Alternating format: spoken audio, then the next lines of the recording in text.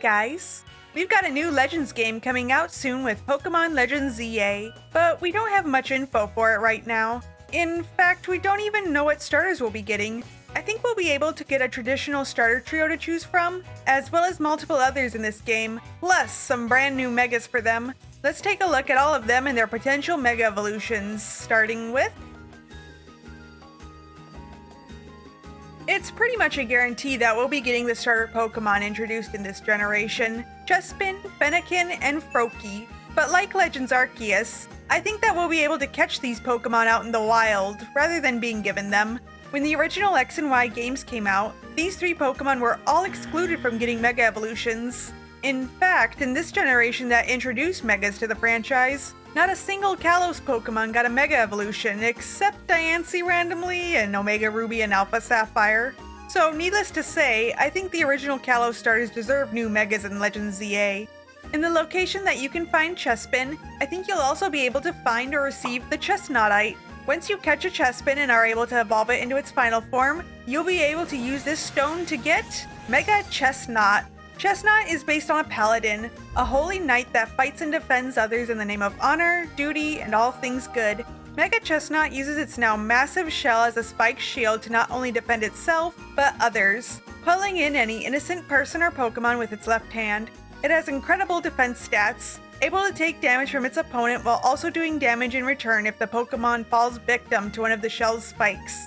It's only when its opponent refuses to back down and moves on to the front of Chesnaught that this Pokemon will lash out, using the sword on its arm to slash at its enemy to keep them away. Next up is the fire starter, Delphox.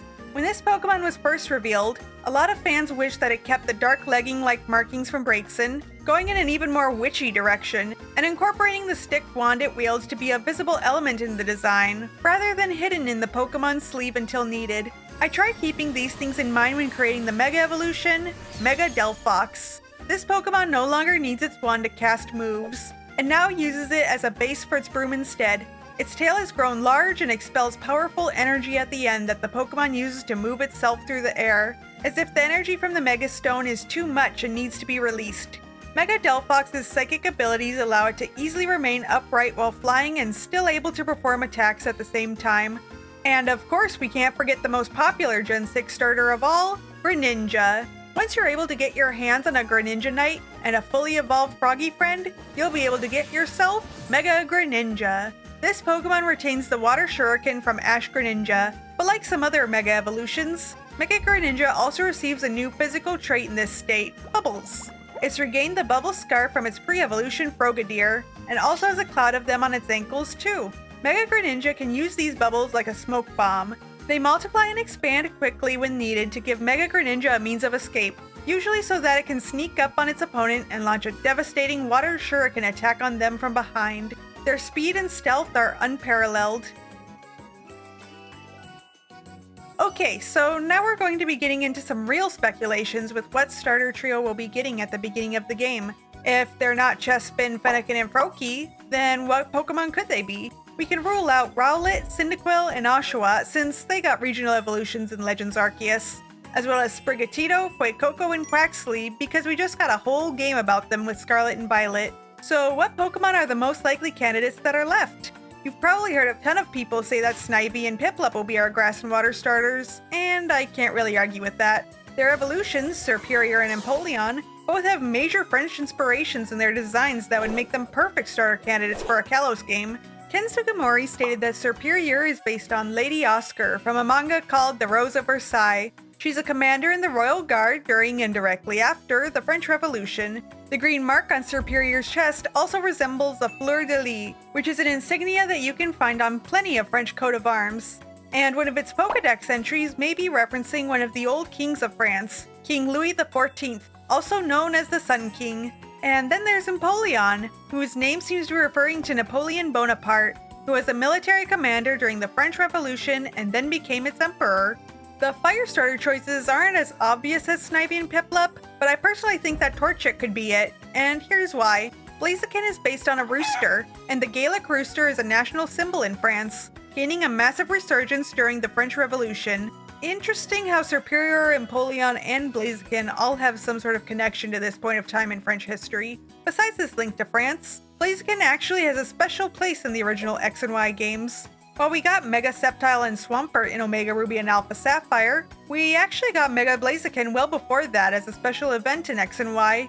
Players were able to get a special Torchic through an online event that held the Blazikenite. Same goes for the anime, where Mega Blaziken debuted in just the second episode of the X and Y series.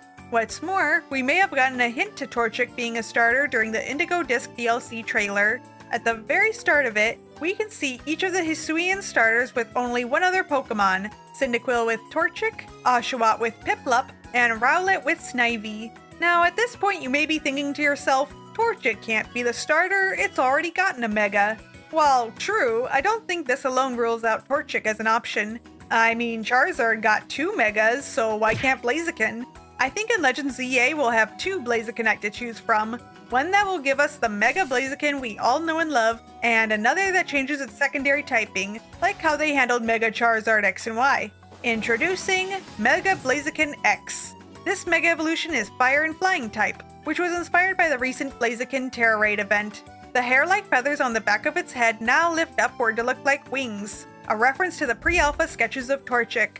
This Mega Evolution's design emphasizes one of Blaziken's potential inspirations, the ancient Egyptian deities Horus and Ra. The power from the Mega Stone creates a sphere of fiery energy above the Pokemon's head that alludes to certain depictions of the Egyptian gods. This sphere is barely able to keep this Mega Evolution in check, with the ends of its arms and feet bursting with fire. Let's go back to our potential grass starter, Snivy. When Mega evolved and given a Serperiorite, this Pokemon can transform into Mega Serperior. The Lady Oscar inspiration becomes more pronounced with this Mega evolution. Mega Serperior is known for diving into battle and landing a quick and precise strike against its opponent using the end of its tail, which now acts as a sharp sword. Trainers need to have a strong connection with their Serperior in order to use this Mega Evolution safely. Without this, Mega Serperior will attack anyone that comes near its trainer, perceiving them to be a threat to the one thing it feels bound to protect.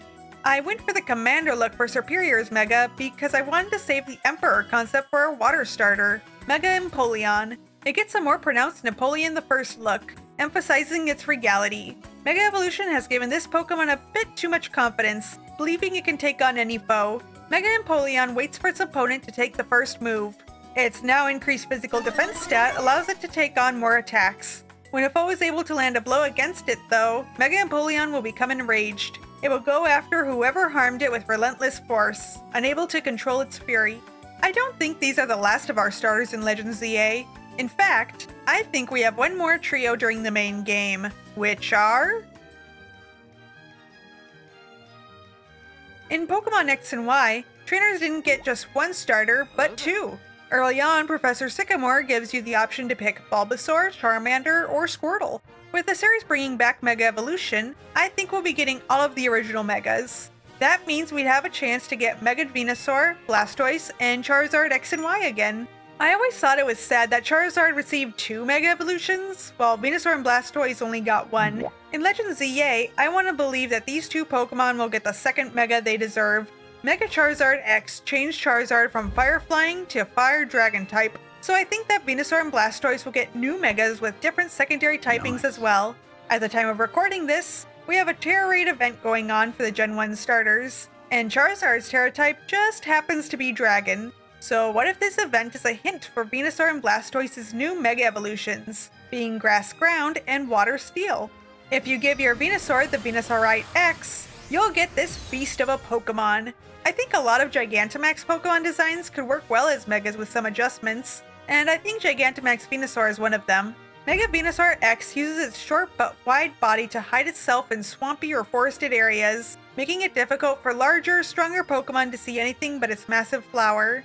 The top of it gives off glowing yellow spores that draw in Pokemon. When they get near enough, these spores go back into the flower, giving Mega Venusaur X power to launch a powerful solar beam attack. And then we have Blastoise. When giving it the Blastoisinite X, it will Mega Evolve into a Water and Steel type. Its body is much wider in order to hold up the two turrets on its back. The Water Blastoise typically wields has now overwhelmed it upon Mega Evolution, it can launch water from the turrets at high speeds and at incredible distances. An opponent needs to be fast enough to dodge their blasts and attack Mega Blastoise X before the turrets fire again. However, even if they get close enough to strike, This Pokemon has a second weapon. With the water coursing through its body, its hands themselves have become weapons. They can unleash constant, powerful blasts of water at short distances.